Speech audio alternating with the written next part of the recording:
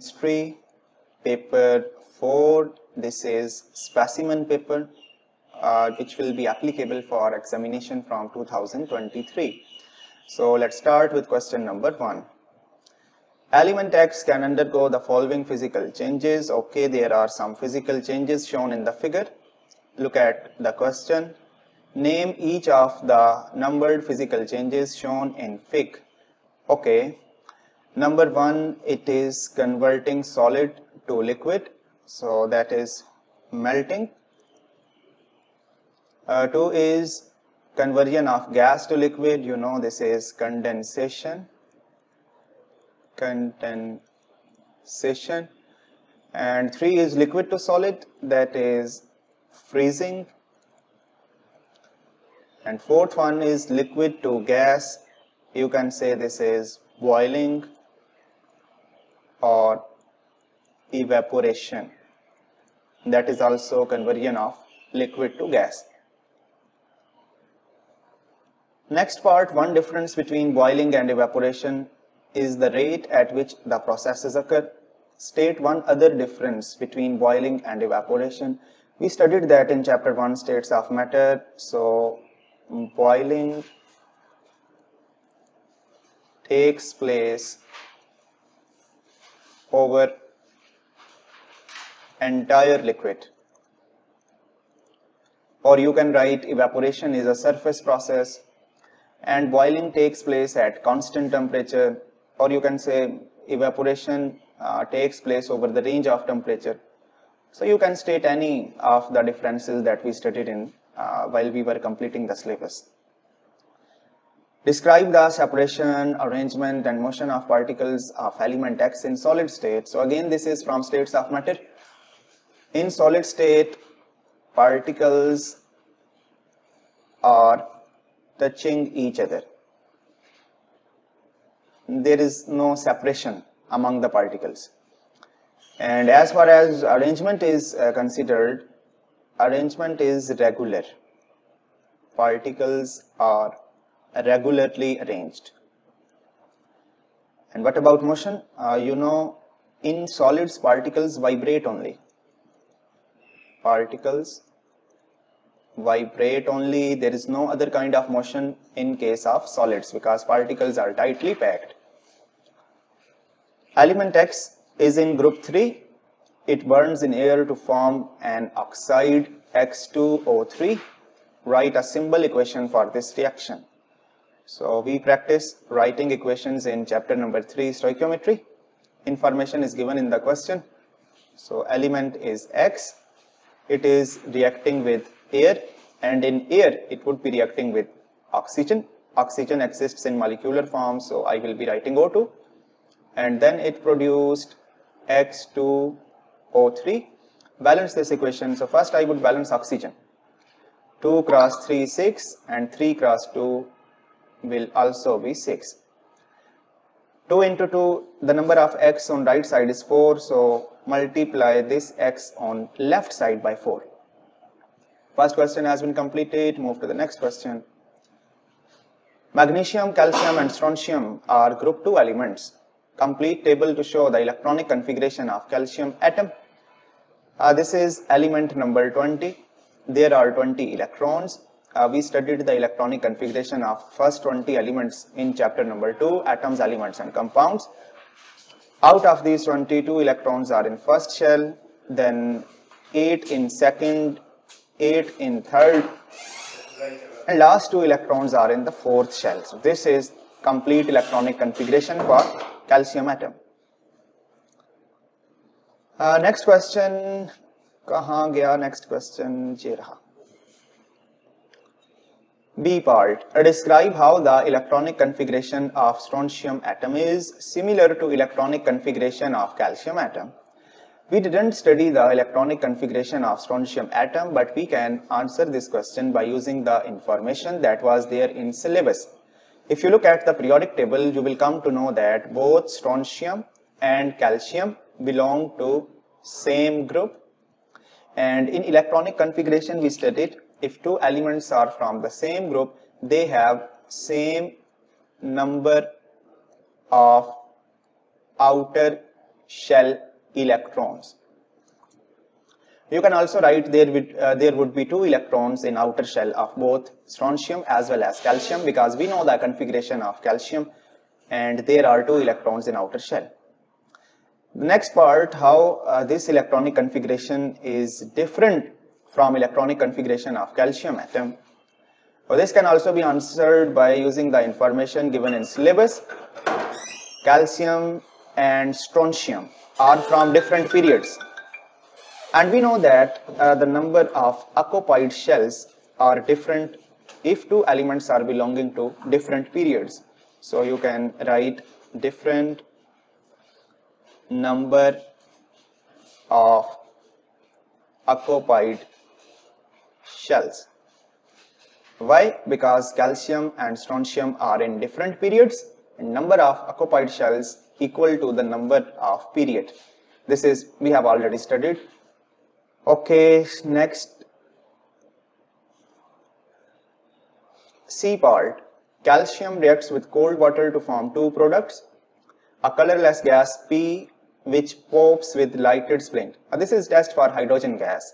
So you can write this is hydrogen and a weakly alkaline solution Q uh, was produced along with gas P which turns uh, milky when carbon dioxide uh, is bubbled through it.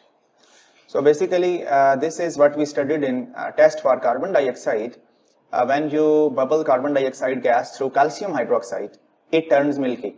So it means this weakly alkaline solution Q is calcium hydroxide and identify the ion responsible for making solution Q alkaline.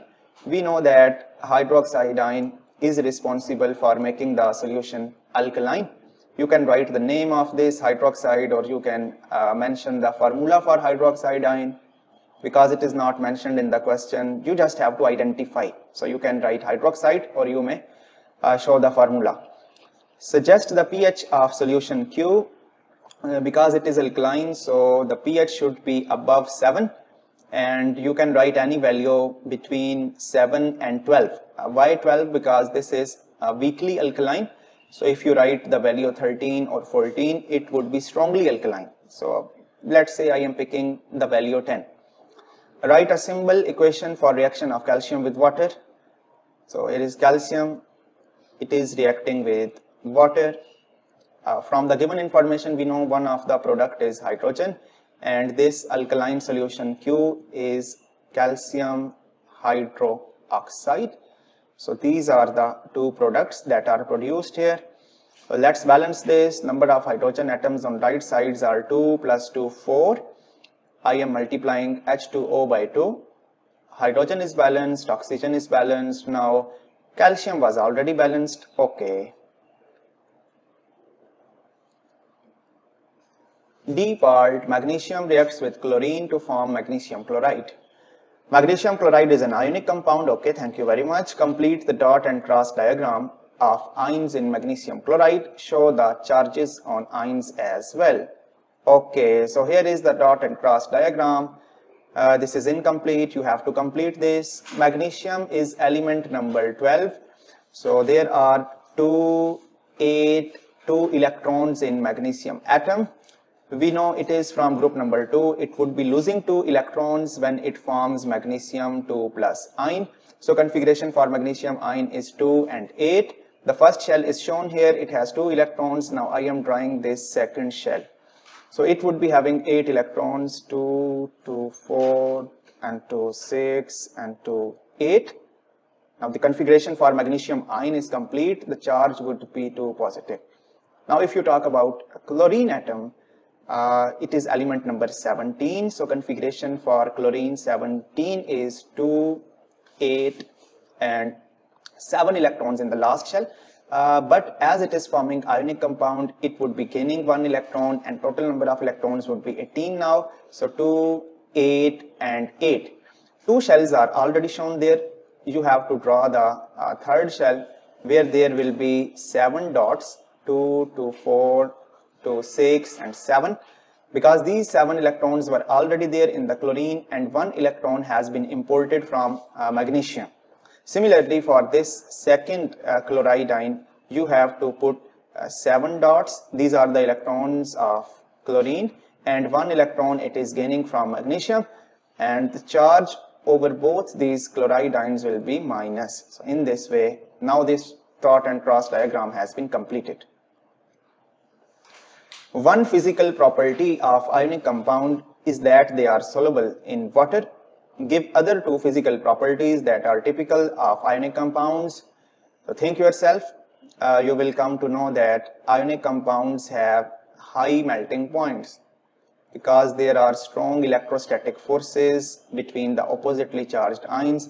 So one of the properties that we studied is that they have high melting points and second property is they conduct electricity when molten. So ionic compounds conduct electricity when they are molten or when they are in solution form. E part aqueous silver nitrate is added to magnesium chloride. A white precipitate forms. Write an ionic equation for this reaction include state symbols. So ionic equations are part of chapter number 3 in syllabus. So first write all the species that are involved in this reaction. Silver nitrate is aqueous, so Ag plus is there, NO3 minus is there. It is combining with aqueous magnesium chloride so magnesium plus 2 ion is there and chloride ion when they will be reacting a white precipitate forms and we know the white precipitate is due to insoluble silver chloride because two products are formed in this reaction one is silver chloride as it is precipitate so it would be solid and other product is magnesium nitrate we know all the nitrates are soluble so magnesium and nitrate ions are still in aqueous form because there is no change in magnesium and nitrate ions before and after the reaction. They are called as spectator ions and they will be cancelled out when we will be writing the ionic equation. So now you are left only with silver ion aqueous plus chloride ion aqueous and these will combine to give white precipitate of silver chloride and the state symbol is S means solid. Question number 2 is completed. Question 3 Copper is a transition element. It has variable oxidation states. State two other chemical properties which make them different from group 1 elements. So transition elements act as catalyst that is not a property of group 1 elements and also transition elements form colored compounds that is another chemical property that is observed in case of transition elements and it is not property of group 1 elements. Copper 2 oxide is heated at 800 degree centigrade. It undergoes reaction shown by equation. So here is the chemical equation.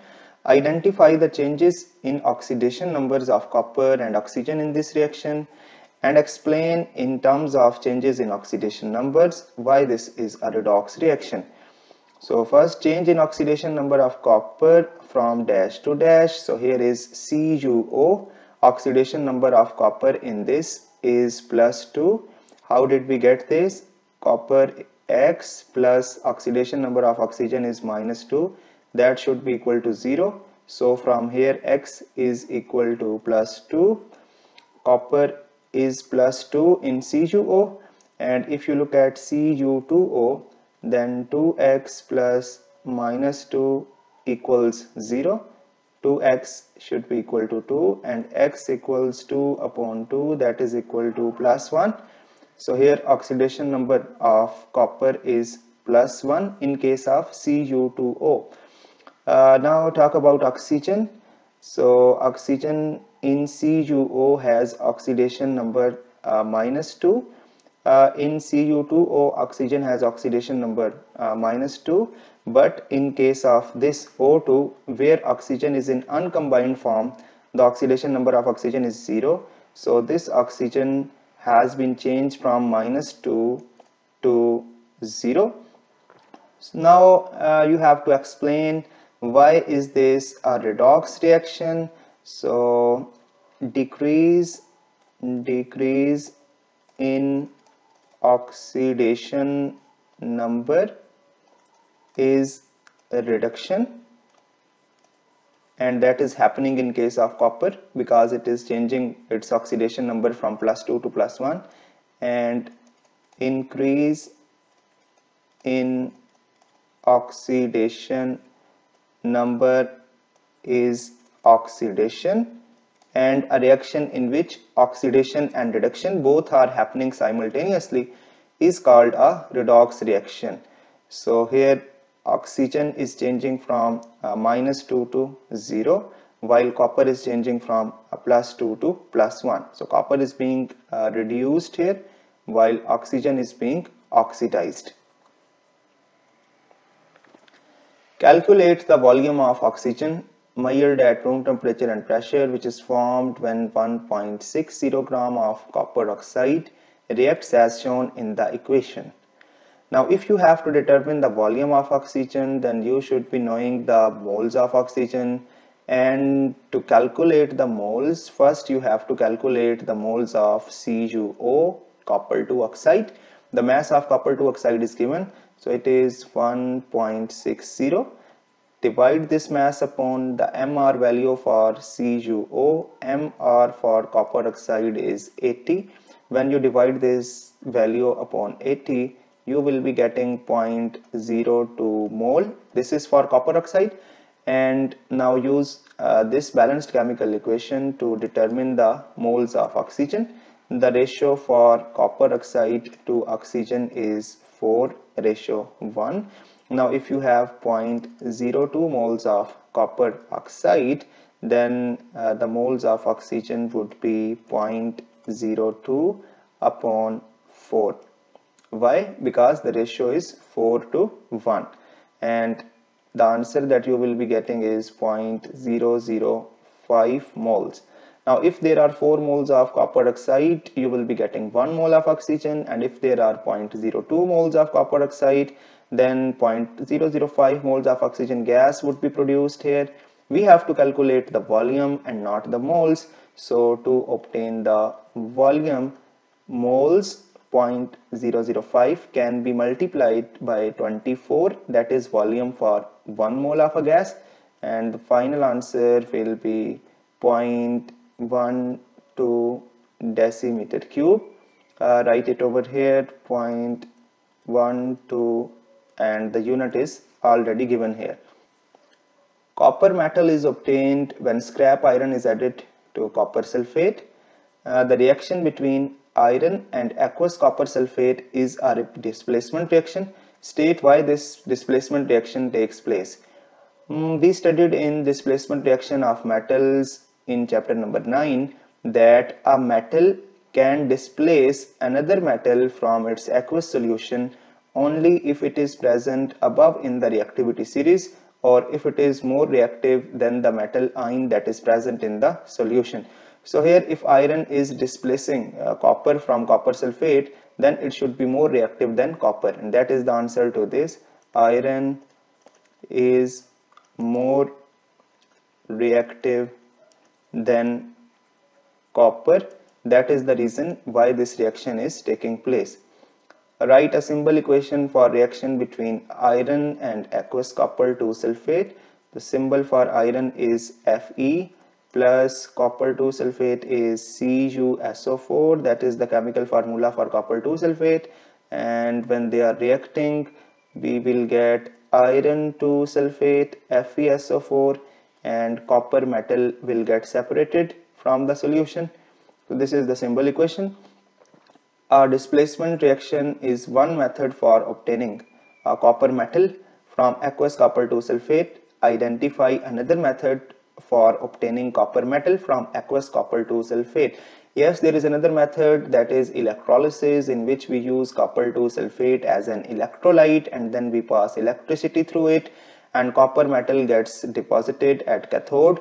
So the method for obtaining copper metal from copper sulfate is electrolysis that can be used. Question number 3 is completed here.